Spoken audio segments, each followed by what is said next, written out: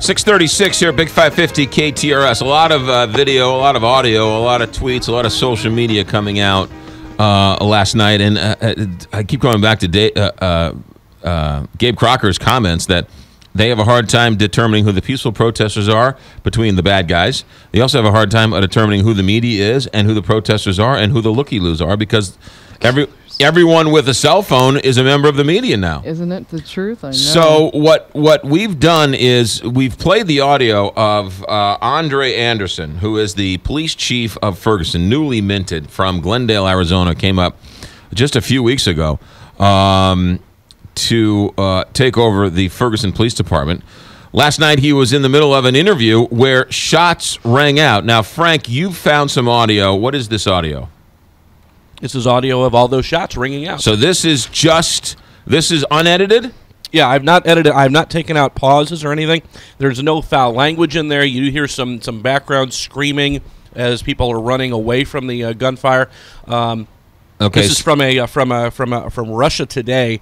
They had a camera trained on one of the strip malls there, and in the the video, Heather has the the, the video as well, and, and and you'll see as people start ducking and getting to the ground as all these shots run out and cars start speeding away.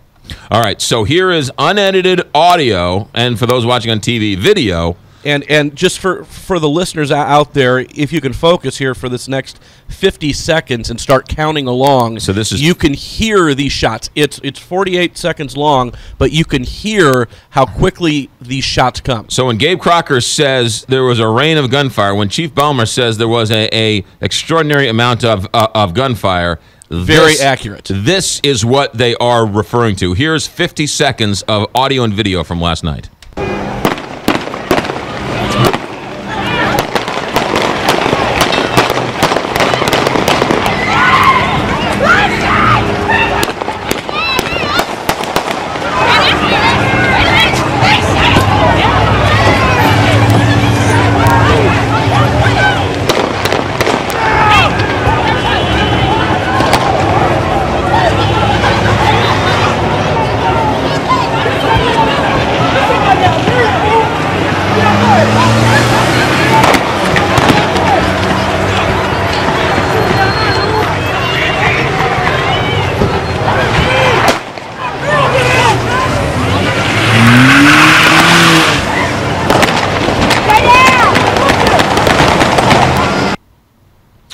50 seconds of audio. Frank, how many gunshots were there? Oh, at least 40.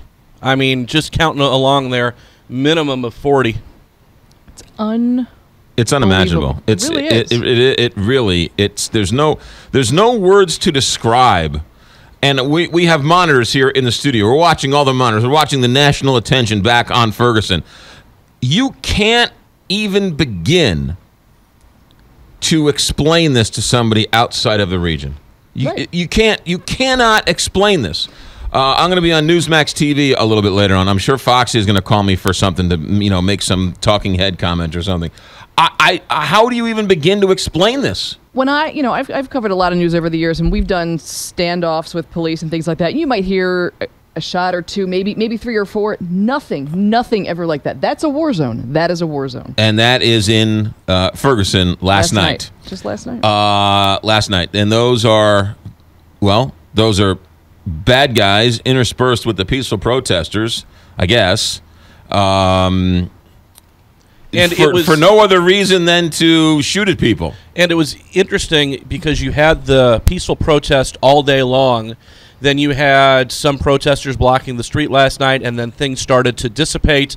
People were dispersing. The rain came. You had some of the mm-hmm. break-ins. Right. The rain left, and That's then right. suddenly you had, um, for lack of a, a, a, better term, agitators out there who were uh, watching it on we were obviously watching on Fox 2 last night. They were within two or two or three feet of that line of, of, of police officers yelling at them and, and, right. and shaking their, their, well, their fists at them and everything else. And it was more it it escalated very very quickly. Well, and and then you have this this you know uh, how how dare you wear riot gear?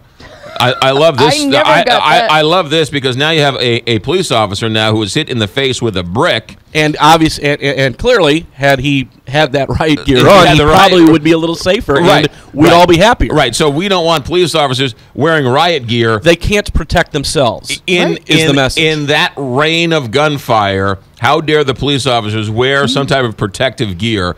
Uh, it is just uh, how you, you can be a know police officer today Right, is, is unimaginable. Cops are bad and crime is good. That's that's what it is today. Seven Sad. seven forty two traffic weather sports straight ahead KTR.